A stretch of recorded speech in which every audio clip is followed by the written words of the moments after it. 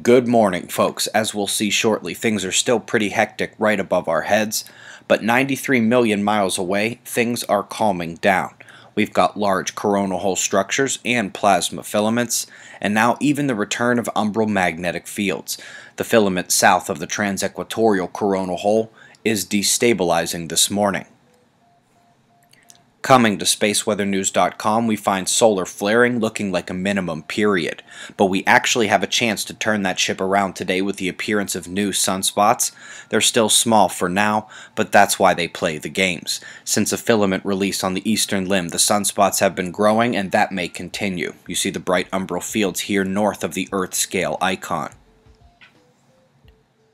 The solar wind speed is dropping after that shockwave impact from the 7th, but the density remains high and the magnetic storm conditions persist. This level 2 disruption has been worse in some areas than others. We see a major plasma penetration event into our atmosphere there, and we even saw the rare red auroras last night. We still have the Earth facing coronal hole, but the magnetic storm conditions at Earth decrease quake conditions, and we've been in a lull since those two New Zealand quakes. Etau crossed Japan, and Kilo is set to charge in next. Etau was a serious rainmaker that triggered floods and landslides. Evacuations were ordered, or one could imagine it might have been much worse.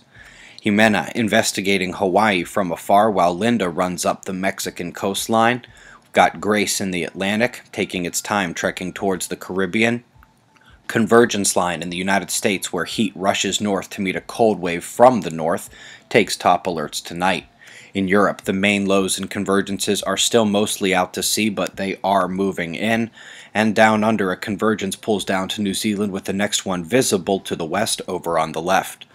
Website members, just a reminder that we'll still be doing Fly on the Wall every Saturday, and we will hit 100 Deeper Look episodes this year but Deeper Look will be more sparsely published until after observing the frontier. Our first conference is in Pittsburgh, October 17th and 18th, and I'll be spending that time preparing for talks and making sure we get the videos to be able to offer those who can't attend in person.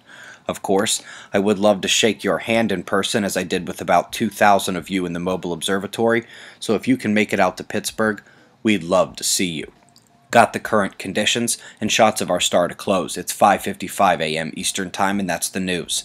Eyes open. No fear. Be safe everyone.